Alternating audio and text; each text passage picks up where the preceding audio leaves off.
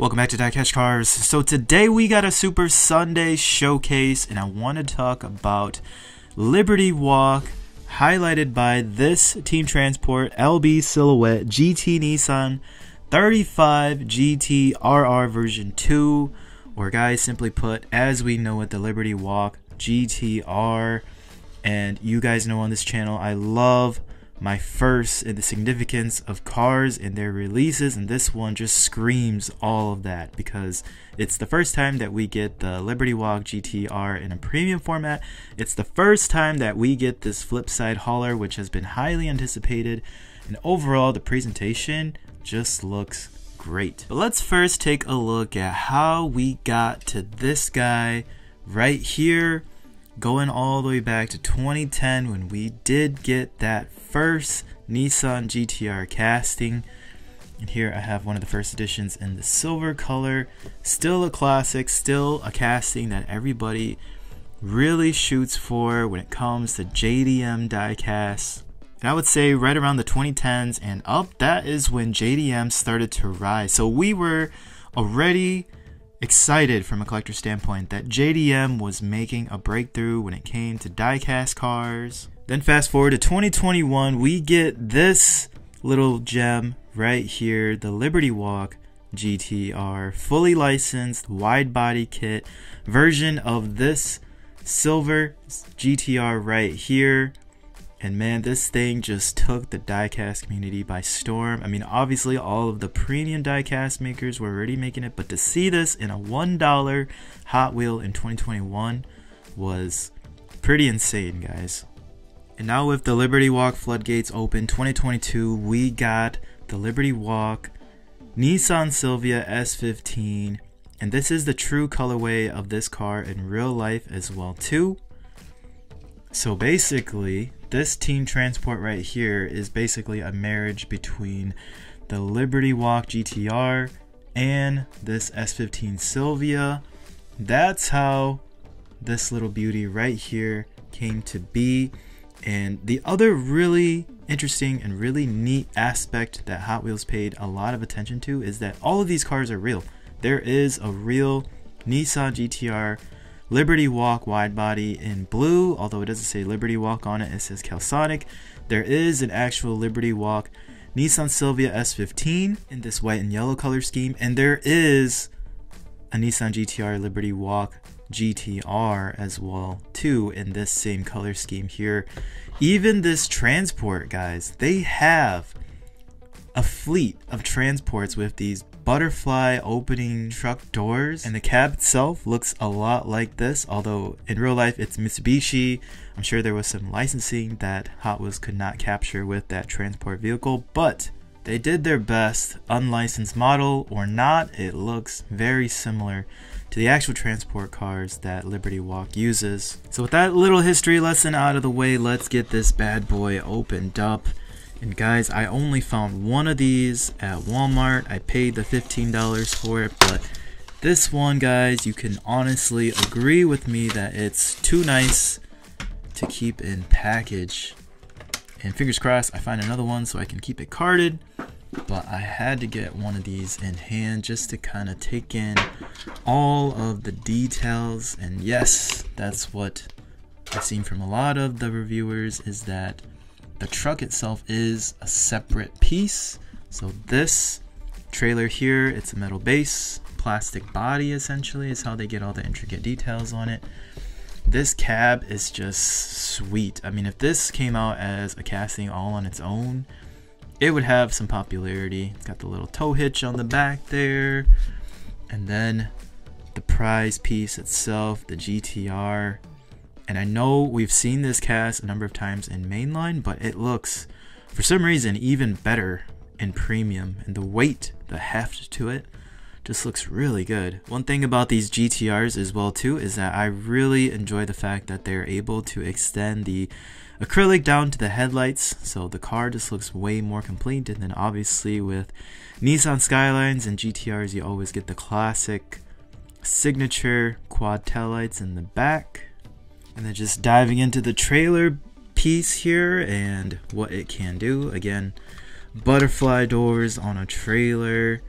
you get to hook it up to the truck itself, which doesn't seem to stay very well. And the turn radius is very minimal. But again these are probably more display than play models. Then you got the GTR the ramp. Again really doesn't extend all the way down to the bottom. So again not super realistic but once you slide the car in it looks pretty cool. It's a presentation all on its own. And guys that is next level diecast right there. I mean something you wouldn't expect to see from Hot Wheels and we've yet to see this from Hot Wheels. But again I think it just goes to show that 2024 and I think we can rest assured that moving forward diecasts are going to get more intricate more detailed and we're going to get some pretty awesome collaboration pieces like this that reflect what these cars look like in real life. So as I was saying, this Liberty Walk GTR Transport, I did pick it up for $15. Secondary market price right now sitting at about 20 to $25. I personally feel like the value of this transport here will probably stay in that price range, about $30. But honestly, guys, moving forward, as we've seen with a lot of the previous team transports as the inventories start to dry up at our stores. The prices are definitely going to go up. This one in particular, it's just super nice. First of a kind. Can't deny it. If you don't have one, definitely get out there and pick one up. but. As this is a Super Sunday showcase and we do have a little bit more time here, let's just go through and do a little recap of all the other Liberty Walk castings that have come out that have really excited the diecast community starting with this ER34 coming. out of Mountain Drifters. This one still a fan favorite and in association with the Mountain Drifters ER34 you got the chase piece.